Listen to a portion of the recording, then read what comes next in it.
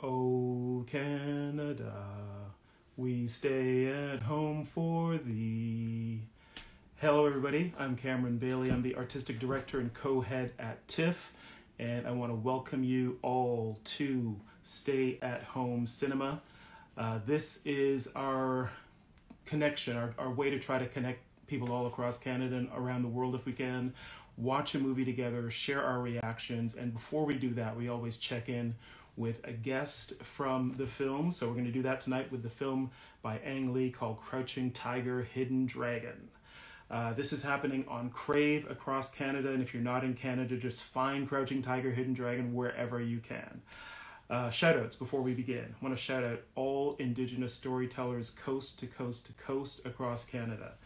All the people and organizations who make everything we do possible. Our lead sponsor, Bell, our major sponsors, RBC, L'Oreal Paris, and Visa, they help keep us going, as do all of the donors and members of TIFF that may be you out there. And a big shout out tonight across Canada to the government. Government of Canada, the provincial government, the government of Toronto, the city municipal government here, all are working so hard. Shout out especially to all the government workers who are helping to keep the city going, keep the country going, uh, and help keep Canadians uh, with some money in their pockets as well. So thank you to all of them. Um, and I also just want to thank all of you for being here tonight. So, in a little bit, we're going to have the screenwriter from Crouching Tiger, Hidden Dragon, uh, Mr. James Schamus.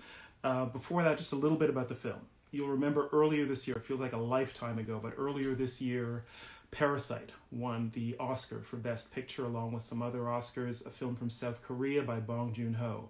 Last year, the film everybody was talking about, one of them was Roma uh, by Alfonso Cuaron, Mexican film in the Spanish language.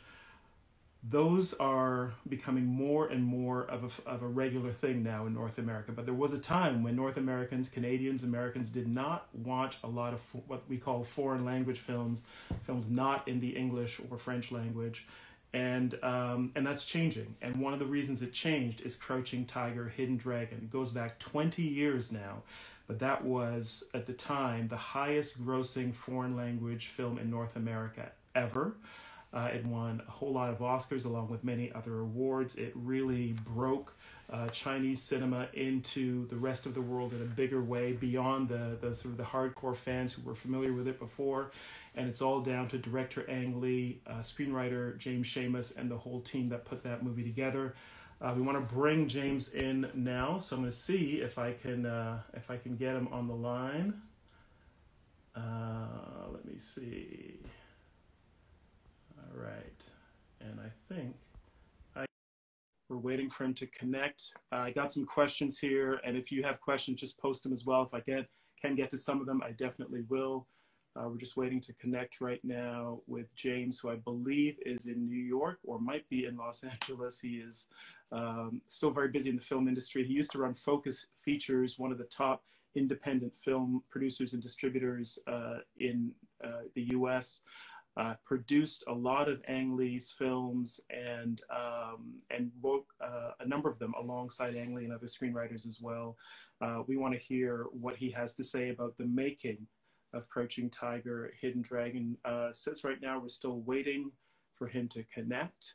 Uh, so I hope we will see him soon. Oh, okay. I see. I see you've given me a message, James. Hello, uh, but I'm not seeing you on the video. James, can you connect the video? Let me try it again. All right, trying to add you now. There we go. Mr. James Schamus, how you doing? I'm good. How are you? Good, good. Welcome to Stay at Home Cinema. Hello. Give me one second. I'm just gonna. I I set up a whole system here, and I think this should work now. All right. All right. Great. We can see you. We can hear you. Where are we finding you tonight? You are finding me in upstate New York in the land of very slow internet. okay. Well, let's hope this works. Uh, but I've got a good signal here. I hope people can see and hear you. Um, I want to start by asking you just about how Crouching Tiger became the phenomenon that it was. Premiered at the Cannes Film Festival in 2000, played our festival in Toronto and many, many others, went on to gross over $200 million at the global box office, won over 100 awards, including four Oscars. When you were working on the screenplay, were you writing a blockbuster? Was that in your mind at the time? you, you always wish, but no, of course not. Um, and first off, I'd just like to say hello, Canada. It was lovely to hear your introduction, uh, Cameron. Uh, I wish we could say the same about our leadership uh, south of 48, but uh, we're very envious. And if anybody wants to sponsor me, you know, I'm ready to go. As soon as the um, borders reopen, you're welcome, James. Thank you so much. Um, uh, but it's a real pleasure to join you tonight. So, no, you know, look, at the time, the genre of the chopsocky movie uh, had fallen into somewhat disrepute and disrepair. And so there wasn't a lot of circulation even regionally for the more Hong Kong style, you know, fist uh, kind of approach, let alone uh, the more, uh, shall we say, elegant uh, wuxia style, right? The kind that we associate with King Hu and other great filmmakers, the kind of more the, the floating, the leg, the, the flying, all that kind of stuff, the mm-hmm. wire work. Um, and so when we went out to try to put the uh, financing for the film together, uh, originally it was we were met with some fairly cold shoulders. Um, but we were dedicated. We had a great team, in particular Bill Kong, uh, our producer in Hong Kong, who was uh, fearless. And we actually had a legend. I don't know if people, if, the, if you don't follow Bill Kong's uh, producer, uh, remarkable executive working in film for for decades, and was very instrumental here. He was, and uh, and and he's and, and for being maybe the most successful producer in the world, kind of when you think about what he's done. Uh, he's a very humble person too. He's a very modest person. Um, we ended up finding a billionaire to uh, finance the movie. It was uh, it wasn't a huge budget uh, by any means, uh, but it was certainly larger than a lot of uh, films that were being produced at that time in the region. Uh, and uh, he was great, except for one thing. We started pre-production, and um, he lost our phone number and wasn't picking up his phone number. and that started two months of, uh, of sleeplessness and a scramble for funds for the film that probably ended up becoming the single most complex financing I've ever been a part of. Um, we, I believe we had a French bank, we had a British Virgin Islands subsidiary of a Hong Kong company uh, with a California bond uh, in, insurer.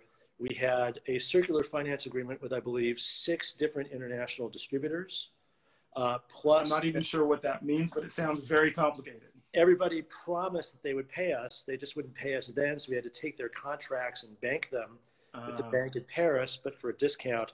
And then the good folks at Sony Classics stepped in, as well as at Columbia Pictures, which was owned by Sony and still is uh, at that time. They had just started uh, a division to support Asian cinema. And that team came in also and picked up multiple territories. So at the end of the day, in order to close the financing in about, we had about six weeks and uh, to do it, I think there were over 20 signatures on the final contract, 20 different wow. entities. So at that point, I didn't really care if it was a blockbuster or or or a, just wanted to get it made. Yeah, exactly. Or a webisode. It was just like whatever. um, you know, you mentioned wuxia before, and some people will know that that genre of film very well. Some will not. Um, but there, at the time, there was a very hardcore, devoted audience um, across Asia and in, in, many parts of the West as well. But it wasn't the, the popular Hollywood audience for these very elegant martial arts films that were kind of fantasies in a way because uh, the, the fighters in them could do things that no human being could do. They could almost fly in many cases. Um, in telling a wuxia story for a global audience, what elements of that genre did you want to keep and what did you want to make uh, change or make fresh? Well, you know, my own role in this was to play the kind of holy fool to Ang and to the team in China.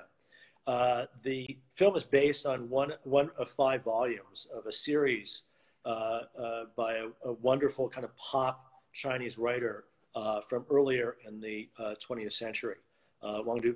And so um, had never been translated into English. So the first thing that had to happen for me to be able to help participate in crafting it was for a synopsis of that volume to be written not just condensing it of course, the synopsis was longer than War and Peace. I mean, and it had elements. There were story elements, and uh, uh, that we we knew we wanted to keep. And uh, among them was uh, the kind of nobility of a, uh, of a kind of freelance warrior class. We know this by analogy with, with Westerns, for example. We know it by analogy with samurai films. But in the Chinese context, of course, there is a whole other literary and philosophical and political tradition uh, that attaches itself to those figures. We also really wanted to mine the kind of revolutionary, we, we felt, uh, promise of the fact that this particular volume centered on women and women characters who often are relegated to secondary status, both in the tradition as well as in its imaginings, its more contemporary imaginings.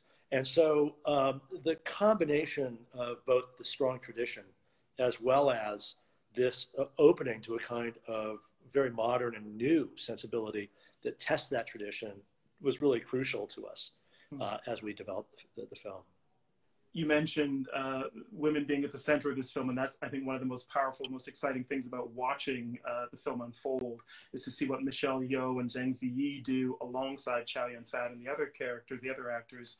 Can you talk a little bit about casting this movie and the particular qualities that you needed from each one of these stars? Yeah, I mean, uh, the casting was pretty obvious in a sense, at least retrospectively. Although at the time, Ang was really taking a risk. Um, Chow Yun Fat, uh, of course, from Hong Kong, doesn't speak Mandarin as a native language. Uh, Michelle Yeoh, the same thing. So she's so Malaysian. Were, she's Malaysian. So, um, so they're speaking at times phonetically, and um, Ang truly believed that he it was worth taking the risk with a kind of pan Chinese cast and crew to bring a, a, uni- a measure of unity to all these disparate strands, both linguistic as well as cultural and historical. Uh, Zhang Ziyi was a whole other process, uh, and one, uh, I mean, the, the, the resulted in her casting, but that process was an enormous dragnet, you might say, that uh, led Ang to consider hundreds, if not thousands, of uh, folks who were uh, trying out for that part. Zhang Ziyi had, as I understand, Zhang Ziyi had just done one one Zhang Yimou film, The Road Home, at that point. Exactly. She wasn't the megastar that she became. Not at all, but she had something that a lot of other folks uh, who were uh, uh, uh for the part, I think we all know, ha- didn't have, and that was a, a, a, training in classical Chinese dance um, and a, the ability to really pick up the martial arts uh, very, very quickly. She was just an incredible, uh, uh, just such an incredible talent. Yeah, she really is. And so you mentioned the just the the wuxia and the the training that's necessary to be able to even be able to do some of those stunt scenes. Um, I want to ask you about uh, Yuen Woo-ping, who uh, I think a lot of people in the West first heard about when he was the, uh, the, martial arts coordinator on The Matrix. And this came right after The Matrix, if I'm, if I'm, not mistaken. But he had already a long career in Hong Kong. Can you talk a little bit about what he brought to just that beautiful balletic sense of, of battle uh, in Crouching Tiger?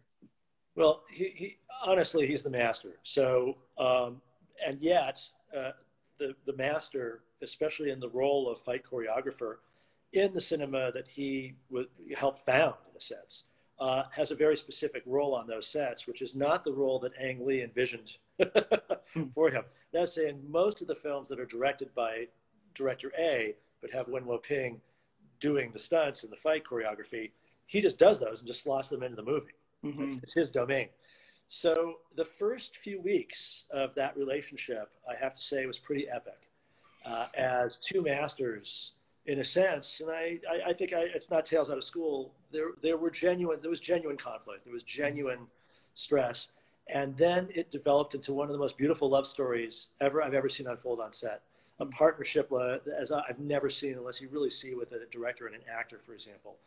And uh, but it was it was really interesting to see that clash of culture and vision, and then see how the two of them worked it out.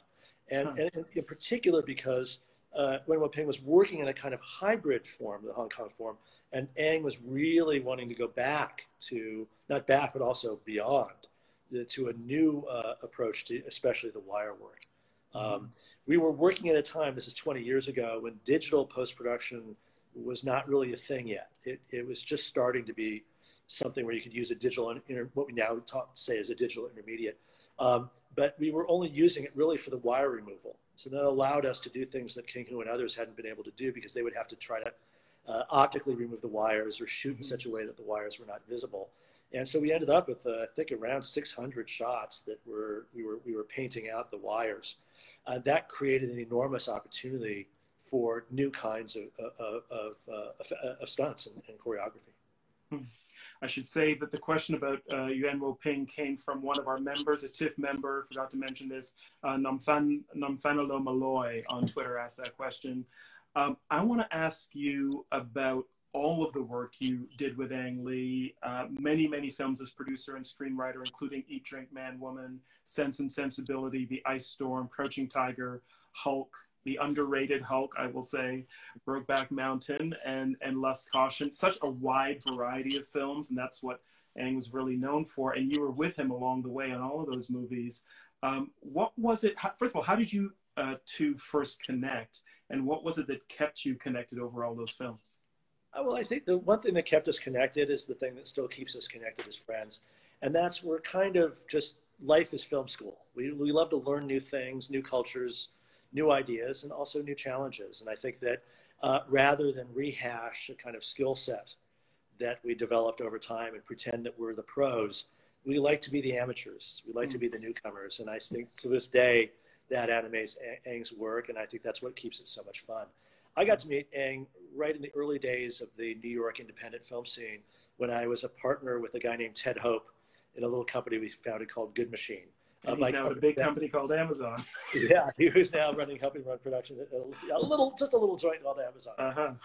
And uh, uh, Ted loved making lists. That was his favorite thing, and he made a list of the ten filmmakers who made great short films at film school and got their MFA degrees, but had not yet made features. And on that list was a guy named Ang Lee, who had gone to NYU and made a lovely film called Fine Line, uh, which I watched on a VHS videotape. Uh, but that had been six years prior to Ted and me getting together, and we actually called Ang's agent at the time, who was actually a wonderful person, um, and said, "Hey, we're really interested in this guy Ang Lee." And she said, "Well, that's great, but you guys have this little tiny company that you you you know you say you do no budget films he's got a development deal at Universal. He's working on a film with Giancarlo Giannini. He's, you know, he's the I, this is not. We said that's okay. We just, you know, if he's ever interested, whatever. And honestly, two weeks later, Ang called us out of the blue. and Said, "I've just won a screenplay award in Taiwan from Central Motion Picture. It comes with a few hundred thousand dollars. By few, I mean very few. And people say that you guys can make movies for you know no money. Uh, would you mind talking to me?" And and he had no idea we had called his agent. It was completely wow. serendipitous we got to sit with Ang for about 45 minutes, uh, almost an hour. Uh, he came to our office, which was uh, next to the World Trade Center on Warren Street above a strip joint. And, um, and he pitched what became his first film, uh, Pushing Hands. Um, and by pitch, I mean for 45 minutes, he droned on explaining every scene. and just, my, I honestly, and I'm not making this up, I actually saw Ted start to nod off. 35 minutes in, it was like, it's the beginning of a beautiful relationship. It was. And it was because uh, afterwards, both Ted and I said, you know, he's Ang Lee is obviously the worst, world's worst pitcher. Uh, he's not a used car salesman. But we, we both realized that he described the movie in his head already. He knew he was so prepared already. Uh, and we had a blast making that first film, then went right into making uh, The Wedding Banquet. Right. Amazing. Um, I've got a question here from another TIFF member, Ben White, who uh, wants to know, as a producer, what's the biggest challenge you faced and how did you overcome it? The biggest challenge I've ever faced as a producer is actually a film that we completed this past year uh, and will be, this might, I get to plug, um, will be available on DVD and uh, streaming uh, in a couple of weeks. It's called The Assistant. It stars the amazing Julia Garner, directed by a brilliant young woman named Kitty Green it's a film that takes place in one day in a, the office of a motion picture uh, company that may remind some people, I don't mm-hmm. know why, of the office of a guy by the name of Harvey Weinstein. Um, we started to put the film together. I think it's a masterpiece. Um, and uh, but at the time, as we put the film together and tried to get the financing, it, uh, we realized that pretty much the entire business, not just Harvey Weinstein and his friends, but everybody in the business did not want to see this movie and mm-hmm. see it made. And so we had our, our financing blown up. We had people threatening us. it was it was mind-boggling, honestly. And you realized that the problem was not Harvey Weinstein. The problem was us. It was all of us. It's the whole business. It's the industry, from festivals to production companies to distributors. There wasn't any place that was ready to step up. We finished the film. Uh, we took it to Telluride. We ended up going to Sundance. Obviously, it's a it's an amazing movie. It's I think it's 90% Rotten Tomatoes. Mm-hmm. But even then, we realized that there were there was a chatter among the business that was saying, "Don't buy this movie." And we finally found a, a distributor who was apparently not rapey and uh, wonderfully supportive. in Bleecker Street is my old partner from Focus Features, as a matter of fact. And uh, they were brave enough to put the film out there, uh, brave enough to stand down from some of the threats and phone calls from lawyers and things like that, uh, and get the film out there. So we're very proud of it. Uh, but from beginning to end, I would say it was it both was a joy to make but there was uh, there was a, there was there were wins against us every step of the way. It's good that after all of these decades of making movies, James, that you're still taking chances, still finding talented uh, young filmmakers to work with. It's really uh, fun. I want to wrap it up by asking you about Crouching Tiger, Hidden Dragon in the context of right now. Um, this was a movie made by Chinese and American artists and craftspeople from many different countries, from New York, Hong Kong, Malaysia, Beijing, Taiwan, and beyond when you think of a movie, uh, think of this movie in today's context of a virus that's reminded us of how interconnected we all are. Does it have new resonance for you? It really does, and I, will I'll tell you. And I, by the way, I'm uh, I, I, I, probably won't be able to join you for the live tweeting of the movie. I'm still recovering myself from COVID, so but I'm oh. on the oh. other side. How are you Thank feeling? You, you all right? Yep, I really am. A little worse Great. for wear, though. I don't wouldn't wish. I had a very mild case, but uh, I wouldn't even wish mild on people. But I'm very blessed, super Good. blessed. But it does make me realize that uh, the residue of our activity, that is, our activity, moves us all over the globe, and we're restless people in this business, as you you well know, uh, at TIFF, because the world comes to you, but you have you have to do a lot to bring them yeah. um, and, and, welcome them. Um, but then we leave a trace, and that trace is our movies. Um, and that trace is the friendships we make across boundaries and borders and languages and cultures. And uh, it's such a privilege. We really are blessed to be able to uh, both have those experiences, but also leave a material trace that is a work of art or, or, or even just a work of entertainment. It doesn't matter what you call it. Um, and something that can remain circulating and continue to have its relevance, even virtually, digitally, however. Um, we'll get through this, I'm sure. We're all, you know, I, I as I told my kids, uh, I actually remember in my American history textbook the paragraph that was relegated in that book to an account of the 1918 Spanish influenza pandemic. And I realize when I say one paragraph, yeah, 50 million people died. Unbelievable. Yeah, and I and, and, we are now living one paragraph in a history book right now. We'll get through this. It's like this. we will get through it. This is a paragraph, and and our brothers and sisters in places like Palestine or in Soweto or elsewhere who are really, you know, where there's really the uh, forces and powers that are using this crisis against them to consolidate uh, their powers. We, we we should be mindful. There's going to be enormous pain amongst us all. We're all going to share that too but there are uh, those uh, out there who are going to have even their a larger share of that pain and it's going to be our responsibility when the, this fog lifts to continue to uh, to fight to get their voices heard and to uh, and and to reach out to them and make sure that the traces of those relationships also find their way as they will I know to TIFF mm-hmm. and elsewhere. Thank you. James Schamus, thank you so much for taking the time to join us to introduce Crouching Tiger, Hidden Dragon. We're going to start it at 7.30 Eastern Time, 4.30 on the West Coast. Uh, in Canada, across uh, the country on Crave. But if you're not in Canada, find it wherever you can. It's a terrific movie. I'm going to sit down and watch it with my family. James, thanks again so much. And, well, uh, thank uh, you so much for having me and, and, for sharing the film. It's really a oh, pleasure. Thank you. All right, take care. Bye-bye. Bye, everybody.